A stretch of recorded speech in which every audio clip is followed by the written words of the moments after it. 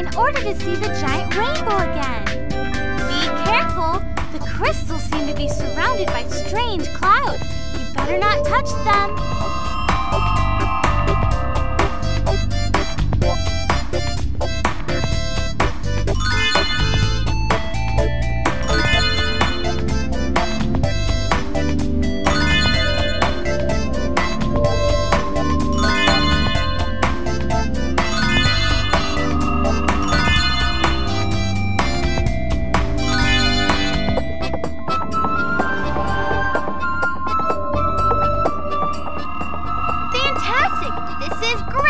did it!